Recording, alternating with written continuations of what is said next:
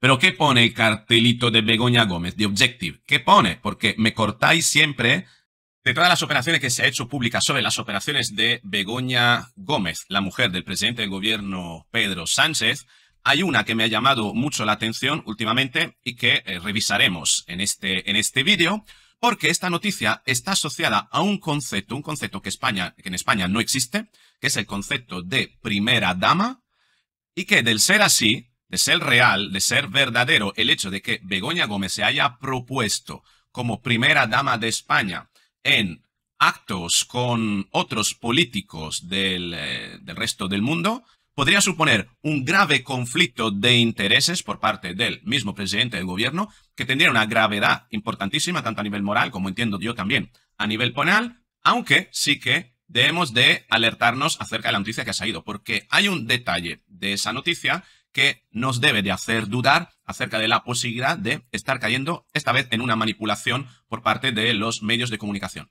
¿Cuál es el detalle que falta en esa noticia para que de verdad podamos confiar en las fuentes? ¿Quieres saber cuál es? Entonces quédate conmigo en el vídeo de hoy porque lo vamos a analizar en detalle. Vamos a leer toda la información y te desvelaré, gracias a la ayuda del análisis psicológico, cuál es el elemento que nos debe de hacer dudar acerca de esta información. De momento, hasta que se presente esa prueba. De presentarse esa prueba, entonces sí que de quién deberíamos de dudar es entonces de Begoña Gómez. Venga, vamos con el vídeo.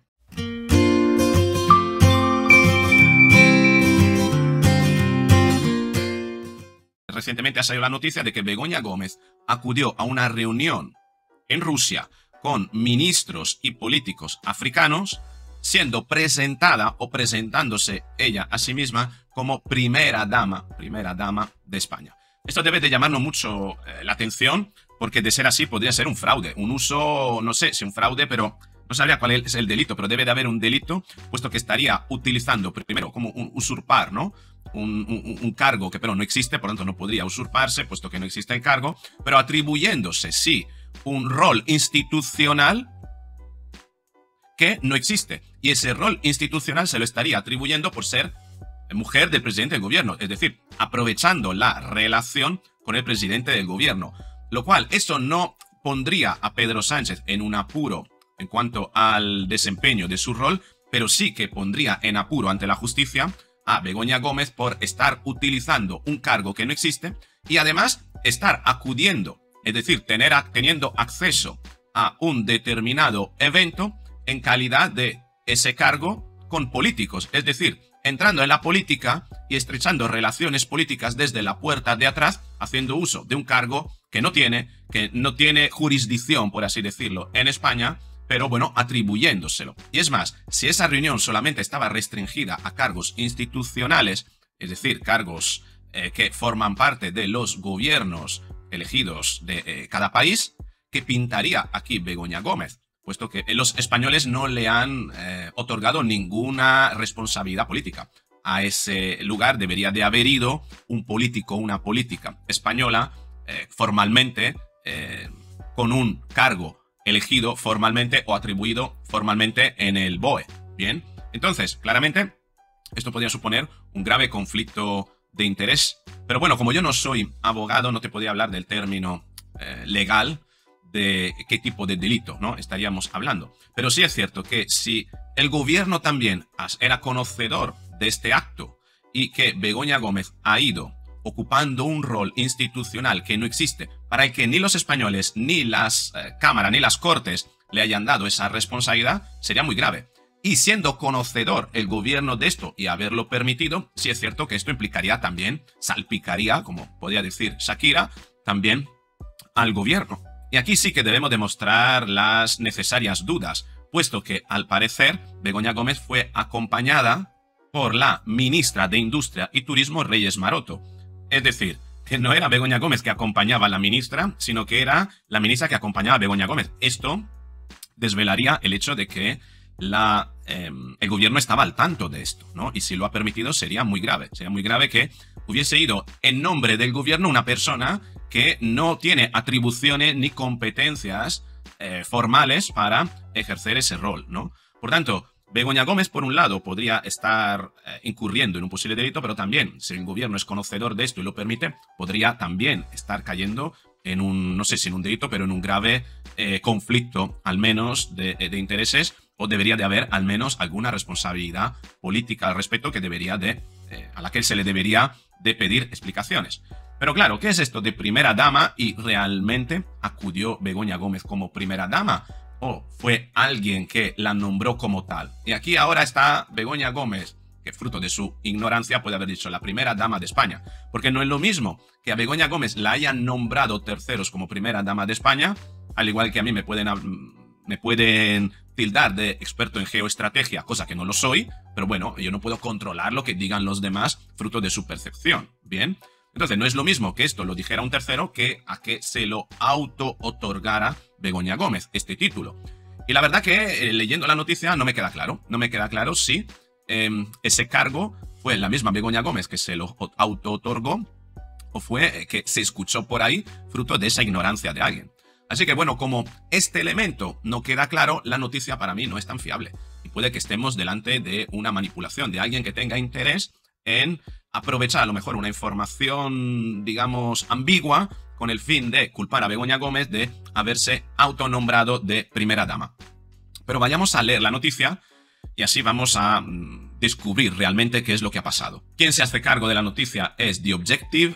¿eh? Dice, la esposa del presidente del gobierno ocupó un lugar destacado en una cita en la que solo había políticos africanos. Bien, y vemos aquí en la foto Costa de Marfil, están todos los carteles de los participantes y la nacionalidad o el país que representaban. Aquí deberemos de ver si Begoña Gómez, aquí debería de aparecer en este cartel, si Begoña Gómez em, formaba parte, ¿no? Tenía un cartel que pusiera Begoña Gómez, primera dama, reino de España. Eh, y, no tenemos esa foto. Y, me hace falta verla, porque realmente yo estoy viendo aquí el, también el vídeo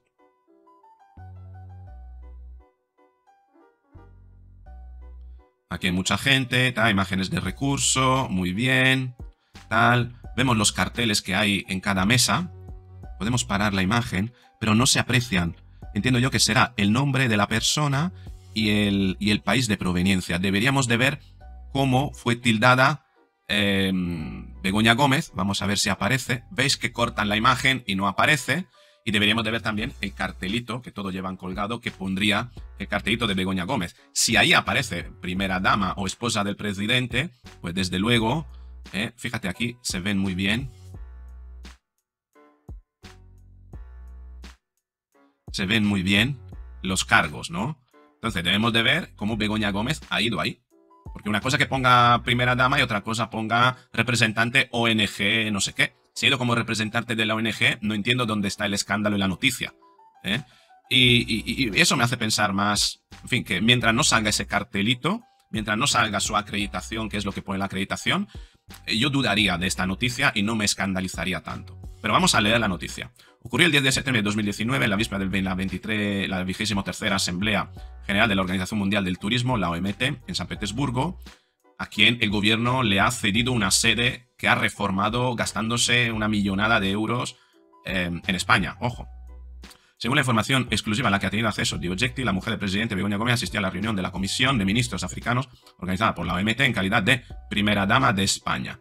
Así le presentó el secretario general de la OMT, Zaru Lili, en el interior del Palacio Tauride, donde se congregaron los ministros de la Comisión Regional para África de la actual División de la ONU para el Turismo.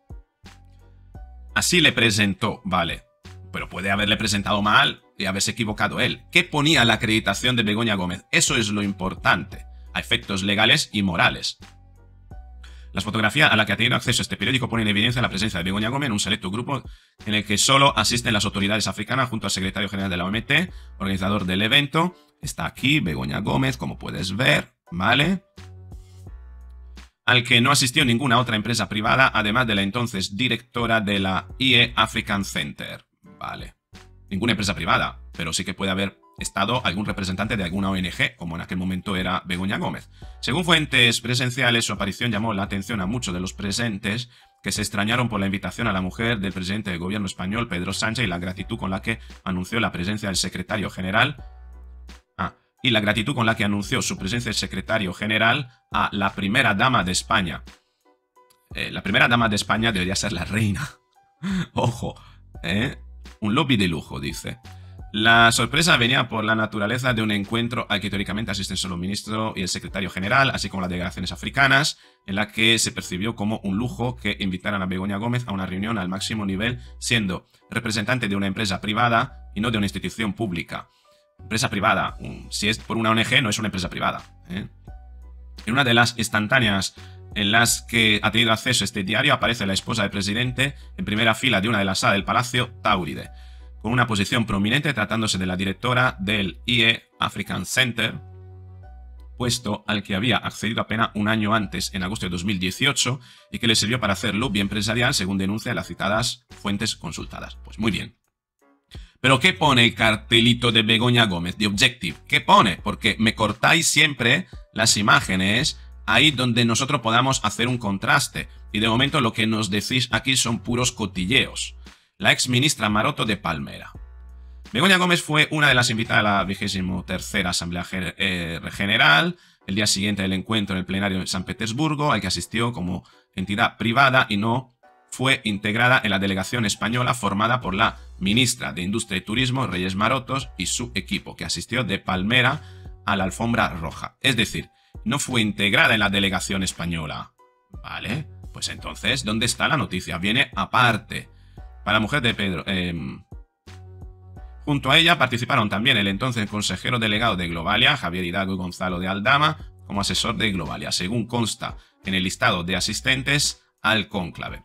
En representación del holding empresarial de los Hidalgo asistió también Lisandro Menumarque y los dos representantes de Bacalua, Luis María Ureta y Leticia Laufer. El primero de ellos fue uno de los responsables de realizar una ponencia presentación como uno de los ponentes del evento. Como adelanto de Objective, Begoña Gómez, Hidalgo y Aldama mantuvieron su primera reunión privada tras la conferencia de la OMT en San Petersburgo, que tuvo lugar en el hotel en el que se alojaban ambos. En este encuentro, la mujer del presidente del gobierno solicitó ayudas de patrocinio para el IE African Center.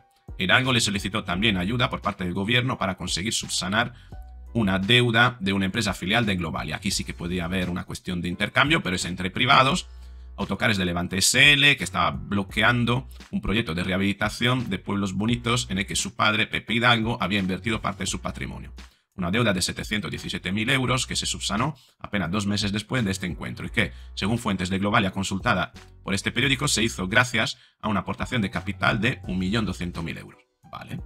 Y el resto del artículo, para no hacerlo muy largo, habla de los eh, negocios ¿no? entre Hidalgo, Aldama, Begoña Gómez, pero eso es otra cuestión respecto a, lo que es el foco de la noticia. Yo de esta noticia desconfiaría, puesto que el lenguaje que utiliza es un lenguaje de cotilleo, em, parece el clásico cotilleo de pueblo, y además tiene cortadas precisamente todas las imágenes, impidiendo que nosotros podamos contrastar eh, qué es lo que pone formalmente en, eh, digamos, nomenclatura del cargo de Begoña Gómez. Que luego alguien la haya llamado primera dama de España fruto de su ignorancia, quizás sea lo de menos. Pero bueno, debemos de valorar ¿eh? hasta qué punto entonces se está aprovechando un detalle para manipular al revés. Es decir, que no solo manipulan los que están en el gobierno, sino también que parece ser que manipulan a aquellos que están en contra de él, mientras no se hace público ese detalle. Yo quiero ver la foto de la acreditación de Begoña Gómez y lo que ponía al lado de su puesto donde estaba, al lado no, en su lugar, ¿eh? en su silla, en su asiento, el cartelito con cómo venía, eh, cuál era el cargo que, que, se le había asignado formalmente dentro de la reunión.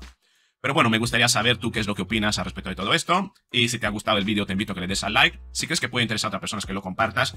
Escríbeme también, eh, bueno, dale al like, por supuesto, pero también escríbeme si te gusta que veamos también las artimañas de manipulación al revés. Incluso de aquellos que, eh, digamos, no están en el gobierno, pero aspiran a estarlo. Y todos sus su entramado, todo su entramado de medios de comunicación. Quizás podríamos contrabalancear esto. ¿Tú qué opinas? Escríbemelo, quiero saber un poquito cuál es tu opinión. Dale al like y nos vemos en el próximo vídeo.